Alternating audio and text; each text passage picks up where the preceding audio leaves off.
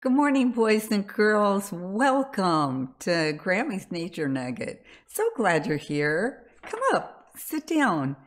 Come on, Mark and Tiffany. Come on, there's a place for you right up front. Great. Good. So everybody's good today?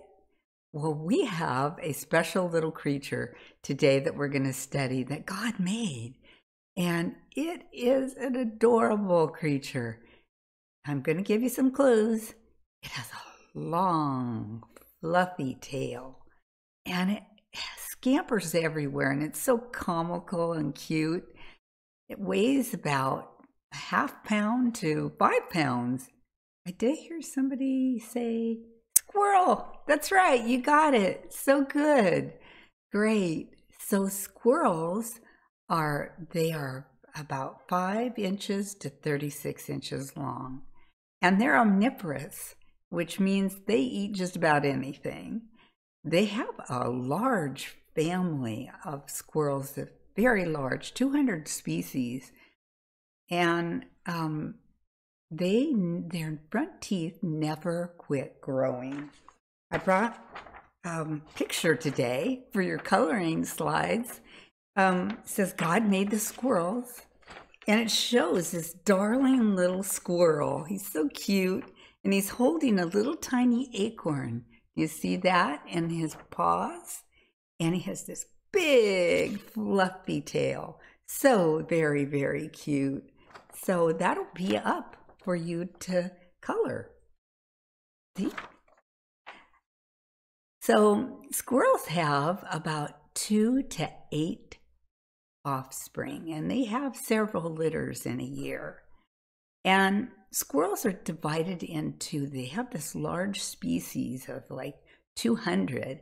And so they're divided into three categories there's the ground squirrel, there's the tree squirrel, and there's the flying squirrels. And in the flying squirrels, it includes chipmunks and groundhogs and um, prairie dogs, even. So they have a lifespan of six to eight years. That's pretty long. And they have a diet that they like hickory nuts and walnuts and different kinds of seeds. They are the most active little animal. They're mostly active in the daytime and they are so busy. They're busy developing new places to put their food. They're extremely vocal. They bark and they chatter and um, even scream, and they sometimes even purr.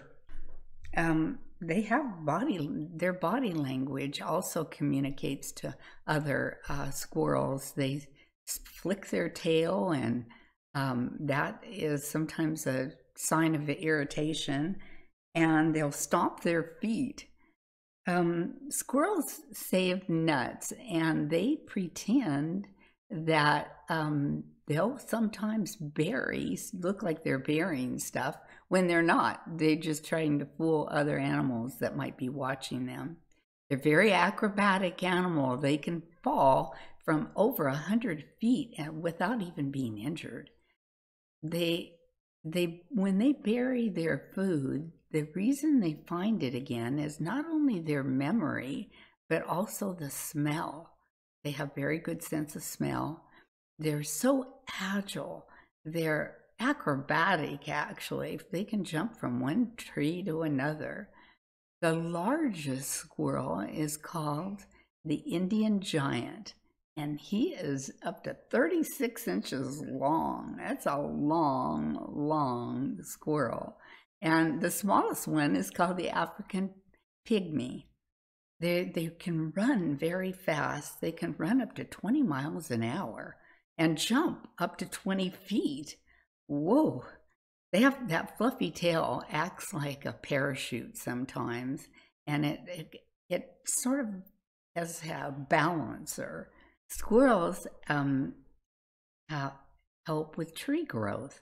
They that about 70% of all the acorns that they bury are ones that they recover, but 30% of them that are either forgotten or something that they just don't need them that winter are left in the ground and they um, they turn sometimes into trees. So they are actually little planters of trees, and these grow into healthy big trees. They're very intelligent. Squirrels are extremely intelligent. They sort their food and even their nuts. They sort by walnuts, by acorns, by pecans, by almonds, by hazelnuts. It's amazing how they do that.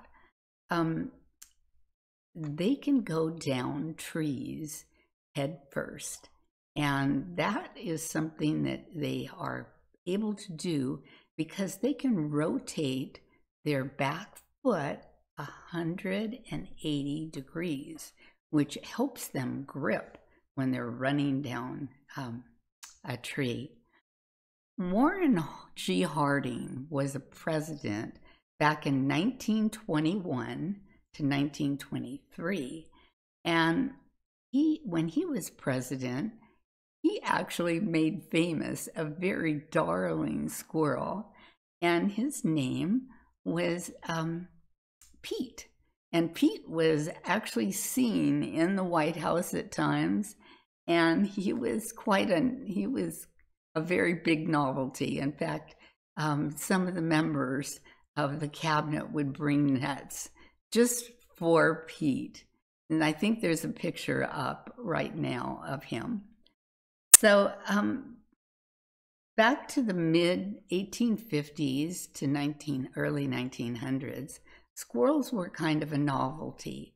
But since then, they have been actively involved in all the parks and they're everywhere. Squirrels are so active. And, you know, in Proverbs 10:4, it says that we should have hands that are busy hands, basically.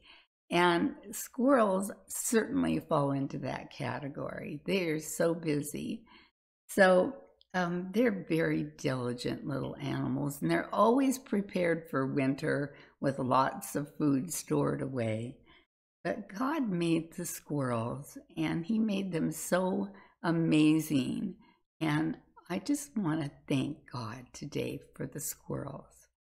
Let's bow our heads. Father in heaven, I just want to thank you for the squirrels. And I pray, God, that you would just bless each child as they learn of your animal kingdom and how beautiful you've made each one of these creatures. I just pray that you will watch over the children, Lord. And I pray that in Jesus' name. Thanks so much for being here today. Bye. See you next week.